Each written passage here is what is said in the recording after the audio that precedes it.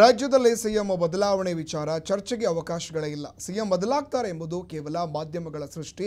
ಇನ್ನು ಮೂರು ವರ್ಷ ಯಡಿಯೂರಪ್ಪನವರೇ ಸಿಎಂ ಎಂದು ಬಿಜೆಪಿ ರಾಜ್ಯಾಧ್ಯಕ್ಷ ನಳಿನ್ ಕುಮಾರ್ ಕಟೀಲ್ ಸ್ಪಷ್ಟನೆ ನೀಡಿದ್ದಾರೆ. ಇಂದು ಹಾಸನದಲ್ಲಿ ಮಾತನಾಡಿದ ನಳಿನ್, ಸಿಎಂ ಬದಲಾಗ್ತಾರೆ ಅಂತ ಶಾಸಕರು ಹೇಳಬೇಕು ಅಥವಾ ಮಂತ್ರಿಗಳು ಹೇಳಬೇಕು. ಹೀಗಾಗಿ ಇದೆಲ್ಲ ಕಪೋಲ ಕಲ್ಪಿತ ವಿಚಾರ. ಯಾವುದೇ ಪಾರ್ಟಿಗೂ ಸಿಎಂ ಬದಲಾವಣೆ ಮಾಡುವ ಶಕ್ತಿಯೂ ಇಲ್ಲ. ಸಿದ್ದರಾಮಯ್ಯ ಡಿಕೆಶಿ ಹೇಳಿದ್ರೆ ನಾವು ಸಿಎಂ ಚೇಂಜ್ ಮಾಡ್ತೀವ ಎಂದು ನಳಿನ್ ವ್ಯಂಗ್ಯವಾಡಿದರು. ಕಲ್ಪಿತವಾಗಿ ಪಾರ್ಟಿಯಲ್ಲಿಲ್ಲ ರಾಜಕಾರಣದಲ್ಲಿಲ್ಲ ಅಧಿಕಾರದಿಲ್ಲ ಅಲ್ಲ. ನಿಮ್ಮ ಲೆವೆಲಲ್ಲಿ ಚರ್ಚೆ ನಡೆಯುತ್ತೆ ಅವಕಾಶಗಳೇ ಇಲ್ಲ.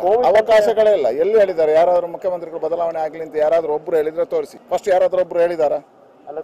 ನೋಡ್ರಿ ಅದಕ್ಕೆ ಆನ್ಸರ್ ಮಾಡಿ. ಫಸ್ಟ್ ನಾನು ಕೇಳಿದ್ದಕ್ಕೆ ಆನ್ಸರ್ ಮಾಡಿ. ನೀವು ಕೇಳಿದ್ದಕ್ಕೆ ನಾನು ಆನ್ಸರ್ ಕೊಟ್ಟಿದ್ದೀನಿ. ಯಾರು ಮುಖ್ಯಮಂತ್ರಿ ಬದಲಾವಣೆ ಆಗಬೇಕು ಅಂತ ಬರೆದು ಕೊಟ್ಟಿದ್ದಾರೆ ಹೇಳಿ. ರಾಜ್ಯದ ಅಧ್ಯಕ್ಷನಾಗಿ ನಾನು ಹೇಳಿದ ಇಲ್ಲ. ರಾಜ್ಯದ ಟೀಮ್ ಹೇಳಿದ? ಇಲ್ಲ. ಹೇಳಿದ್ಯಾರು? ಈಗ ಕೇಳಿದ್ಯಾರು? ಇದು ಕಪೋಲ ಕಲ್ಪಿತವಾಗಿರ್ತಕ್ಕಂತಹ ಒಂದು ವಸ್ತು. ಮುಖ್ಯಮಂತ್ರಿಗಳ ಬದಲಾವಣೆ ಯಾವುದೇ ವಿಷಯದಲ್ಲಿಲ್ಲ ಯಾವುದೇ ಚರ್ಚೆಗಳಿಲ್ಲ. ಇನ್ನು ಮೂರು ವರ್ಷ ನಮಗೆ ಮುಖ್ಯಮಂತ್ರಿಗಳು ಯಡಿಯೂರಪ್ಪರೇ. ಮತ್ತು ಯಾವುದೇ ಪಾರ್ಟಿಗೆ ಇದನ್ನು ಬದಲಾವಣೆ ಮಾಡುವಂತಹ ಶಕ್ತಿ ಇಲ್ಲ. ನಾವೇ ಸರ್ಕಾರ ನಡೆಸ್ತೇವೆ ಮೂರು ವರ್ಷ ನಡೆಸ್ತೇವೆ ಮತ್ತು ಮುಂದಿನ ಅವಧಿಯಲ್ಲೂ ನಾವೇ ಸರ್ಕಾರ ರಚನೆ ಪಾರ್ಟಿಯಲ್ಲಿ